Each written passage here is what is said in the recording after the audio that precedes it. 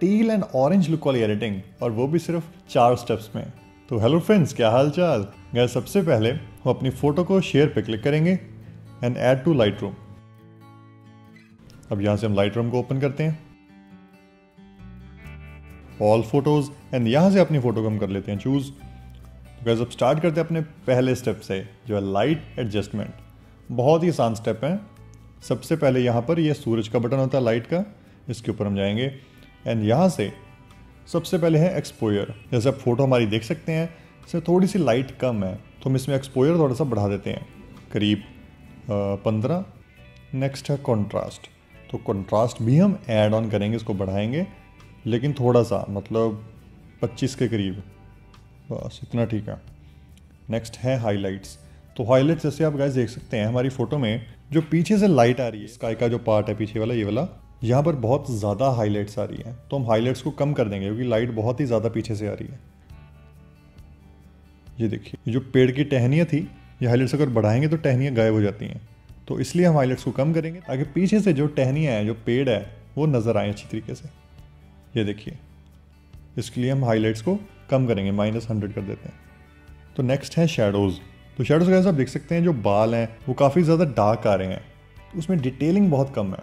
तो उस डिटेल्स को निकालने के लिए हमें शेडोज़ को बढ़ाना पड़ेगा। आप देखिए शेडोज़ को मैं बढ़ाऊँगा तो डिटेल देखना बालों की। ये देखिए, बालों में लाइट आ गई। ये पहले नहीं थी, अब आ गई। तो इसलिए हम शेडोज़ को बढ़ा देते हैं करीबन सेवेंटी फ़ोटो देखिए, पहले से बेटर हो रही है। नाइस इसके बाद है वाइट्स वाइट्स हम हल्का से कम करेंगे। माइनस टेन कर देते हैं। बस। तो ये हमारा पहला स्टेप हो गया। डन हमने लाइट अच्छी तरीके से एडजस्ट कर दी। अब चलते हैं हमारे सेकंड स्टेप की तरफ़, जो है कलर एडजस्टमेंट उसके लिए हम जाएँगे यहाँ से कलर टैब ये नेक्स्ट वाले इससे। बहुत ही आसान है यहाँ पर भी। तो सबसे पहले यहाँ पर हमारे पास है टेम्परेचर एंड टेंट तो टेम्परेचर को हम थोड़ा सा बढ़ा देते हैं ताकि वार्म टोन आए। एंड टेंट को थोड़ा सा कम कर देंगे। जैसे टेम्परेचर को हम कर देते हैं फोर एंड टेंट को माइनस फोर सिंपल इसके बाद है वाइब्रेंस जैसे मैं वाइब्रेंस को बढ़ाता हूँ, इसको हम हंड्रेड कर देते हैं। मुझे पता थोड़े से ज़्यादा हो गए लेकिन अभी इसको एडजस्ट करेंगे, कोई नहीं। इसके बाद जो सेचुरेशन है ना, वो हम कम कर देंगे। इसको सेचुरेशन को हम माइनस फाइव कर देते हैं। इसके बाद हम ऊपर से मिक्स के अंदर जाएँगे। यानी मेन कंट्रोलिंग जो कलर्स की होती है, वो मिक्स के अंदर बहुत ही बढ़िया तरीके से हो जाती है। जैसे ये लास्ट में हमारे पास यहाँ पर ये कलर है पर्पल तो पर्पल को हम सेलेक्ट करेंगे। और इसकी जो सेचुरेशन है, वो बिल्कुल कम माइनस हंड्रेड नेक्स्ट है हमारे पास मेजेंटा इसकी भी सेचुरेशन माइनस हंड्रेड तो मेजेंटा कलर की हम सेचुरेशन माइनस हंड्रेड नेक्स्ट है हमारे पास ब्लू कलर ये बहुत इंपॉर्टेंट कलर है टील एंड ऑरेंज लुक में। ब्लू कलर की बहुत इंपॉर्टेंस है। तो सबसे पहले हम जो ब्लू का ह्यू है, वो हम कम रखेंगे। ये बात आपने हमेशा याद रखनी है कि जब भी आप टील एंड ऑरेंज लुक में काम कर रहे हैं, आपने जो ब्लू कलर का ह्यू है, हमेशा ही कम होएगा।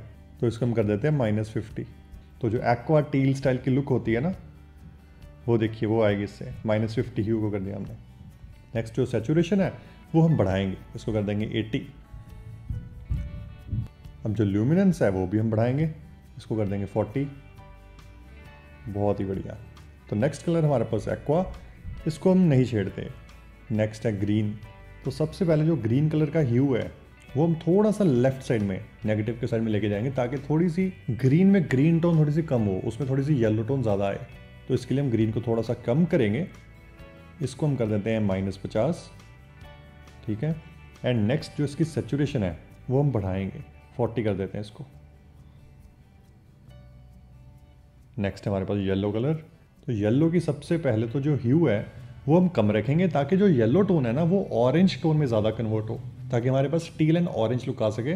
इसके लिए येलो का जो ह्यू है, बिल्कुल कम माइनस हंड्रेड ये देखिए, जो येलो टोन सी ना हमारी फ़ोटो में, वो ऑरेंज हो रही है। इसको माइनस हंड्रेड कर दें। एंड नेक्स्ट जो इसकी सेचुरेशन है, वो हम कम रखेंगे, इसको माइनस सिक्सटी कर देते हैं। बहुत ही बढ़िया।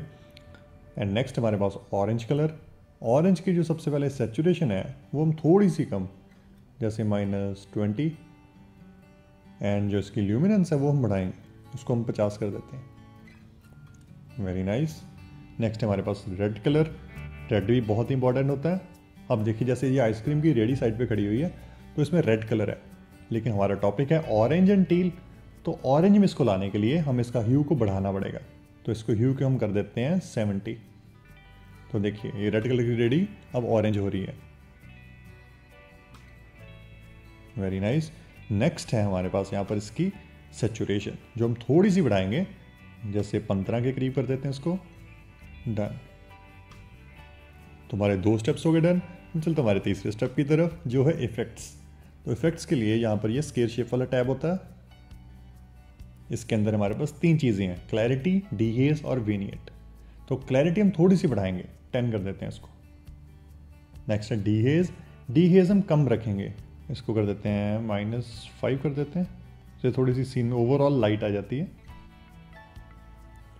नेक्स्ट है वेनियट इसको कर देते हैं माइनस ट्वेंटी बहुत ही बढ़िया। तो हमारे तीन स्टेप्स हो गए, अब चलते हैं हमारे फोर्थ स्टेप की तरफ़, जो है स्प्लिट टोन गैस अगर आपको पूरी डिटेल में जानना है कि स्प्लिट टोन काम कैसे करता है तो ऊपर आई के बटन पर क्लिक करके आप वीडियो को देख सकते हैं। डिस्क्रिप्शन में भी लिंक है वैसे। तो स्प्लिट टोन के अंदर बहुत ही आसान चीज़ करेंगे। जो यहाँ पर हाईलाइट्स का पार्ट है, उसको हम उठाकर यहाँ से जो एक्वा टोन है टील टोन है, उसके अंदर लेकर जाएँगे। एंड इसमें थोड़ी सी सेचुरेशन ऐड कर देंगे।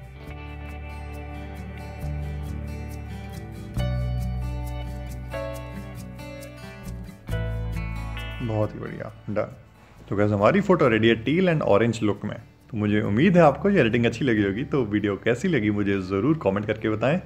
एंड वीडियो में गाइज़ अगर आपको कुछ अच्छा कुछ नया सीखने को, देखने को मिला हो तो वीडियो को लाइक ज़रूर करें। एंड अपने दोस्तों के साथ फेसबुक पे व्हाट्सएप पे सभी जगह शेयर ज़रूर करिए। एंड हाँ यहाँ से सेव भी कर लेते हैं। यहाँ से कर दिया सेव क्योंकि सेव करेंगे तभी तो इसका थंबनेल लगाएँगे। तो उसको सेव कर दिया। एंड गैस मिलते हैं हम अगली वीडियो में। Música